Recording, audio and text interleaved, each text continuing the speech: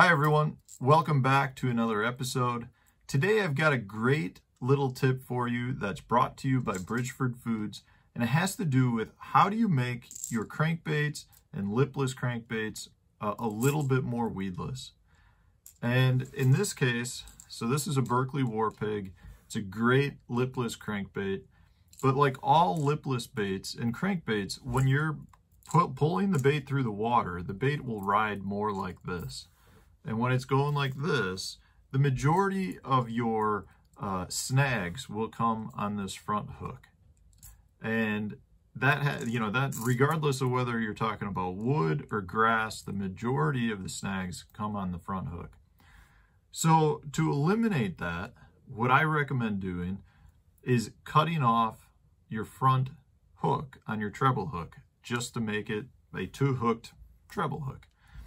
And to, to figure out which one you want to do, you let the bait just hang naturally, and you'll see that the, the split ring will be um, perpendicular to the eye, uh, that's the, the hook hanger on the bait. And you'll always have one treble hook that's pointing forward. So in this case, I'm going to cut this front treble hook off.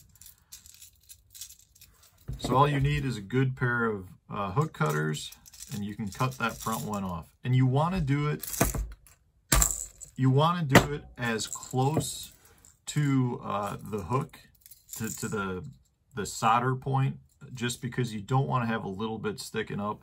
If you have a little bit sticking up, that will still catch on weeds or any sort of, uh, you know, bottom grass that's growing.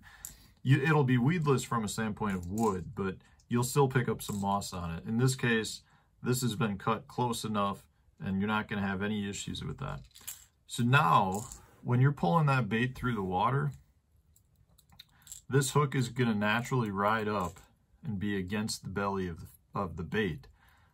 And it really doesn't have a huge impact on your uh, your hookup percentage with the fish. I've got here a, a largemouth bass that Hank caught for me earlier today.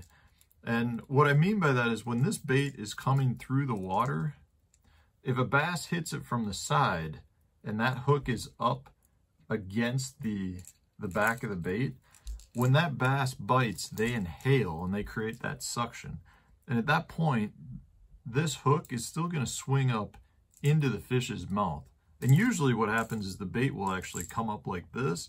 And at that point, as soon as the fish closes its mouth, that hook now will be just flopping around. And you've got two of the three hooks to still hook up on that fish.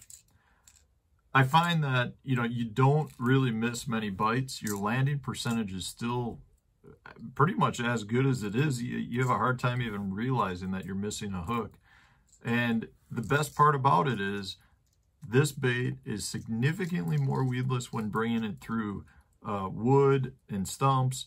And anytime you're fishing grass, which is what you do with a lipless crankbait, this bait now uh, will come through that grass so much better. It's amazing the difference that you'll get.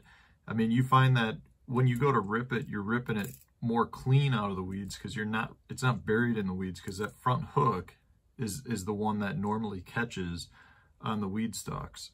So give it a try, guys. It works great on lipless crankbaits. It works absolutely wonderful on uh, diving crankbaits as well.